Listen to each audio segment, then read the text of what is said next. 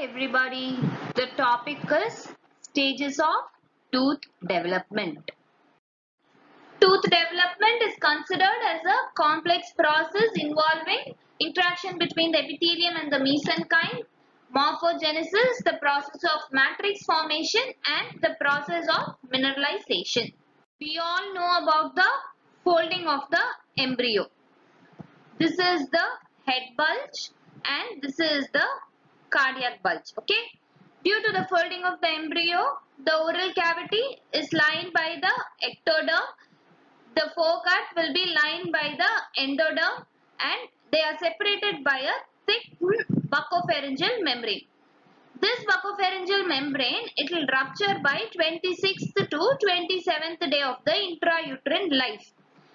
Due to its rupture, the oral cavity can now communicate with the foregut and the connective tissue which is underlying the ectoderm of the oral cavity that is influenced by the migrated neural crest cells okay? And that is called as the ectomesenchyme the neural crest cells and that is called as the ectomesenchyme so tooth development it is initiated due to the interaction between this ectoderm and the ectomesenchyme let us now see the formation of the primary epithelial band and the dental lamina.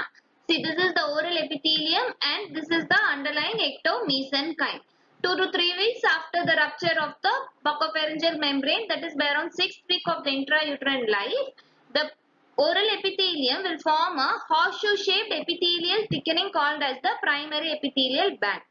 More than the proliferation of the cells, the reason for the horseshoe-shaped epithelial thickening is change in the orientation of the mitotic spindle and the cleavage planes of certain basal cells. This horseshoe-shaped thickening is seen to invade the underlying ectomesenchyme. And a week later, that is by around 7th week, the horseshoe-shaped thickening primary epithelial band will further divide into a vestibular lamina and a dental lamina. The vestibular lamina otherwise called as the lip furrow band is on the buccal aspect and the dental lamina is on the lingual aspect. To remember it easily, the lip is always outside the teeth. And this dental lamina is now going to harbor 10 knob-like structures due to the epithelial thickening at certain positions. These positions correspond to the location of the deciduous teeth future deciduous teeth okay? And the permanent molars will arise from a direct distal extension of the dental lamina called as the accessional lamina. And the successors that is the permanent teeth for the deciduous teeth successors of the deciduous teeth will arise from a direct lingual extension of the dental lamina called as the successional lamina the stages of tooth development can be uh, referred based on two things, based on the shape of the enamel organ and based on the histophysiological process the enamel organ is going to undergo. So based on that, the bud stage is called as the initiation stage, the cap stage can be called as the proliferation stage, the early bell stage can be called as the histodifferentiation stage and the late bell stage or the advanced bell stage called as the morphodifferentiation stage. See, this is the bud stage. It is called bud stage because the shape of the enamel organ is in the form of a bud. In the bud stage, what and all we need to know. The peripheral cells are short columnar cells. The central cells will be polygonal in shape and they will contain a little intercellular substance. And the ectomesenchyme which is going to surround the bud that is called as the dental papilla which is going to give rise to the dentine and the pulp. And the enamel organ that will give rise to the enamel. The basement membrane is present separating the cells of the enamel organ from the ectomesenchyme. Important thing is there is increased mitotic activity in the bud stage. The cells are in a state of active proliferation. That is what it actually means. So due to this proliferation, they are going to further assume the cap stage and the early bell stage and later we will see how the other structures of the tooth are formed.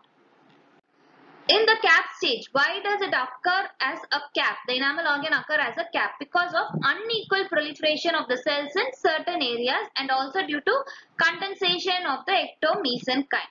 What are the key words we need to know in the cap stage? We need to describe how the outer enamel epithelium going to look like, how the inner enamel epithelium is going to look like, how the stellate reticulum is going to look like and what is the cervical loop or the zone of reflection, what is the dental sac or the dental follicle. Okay.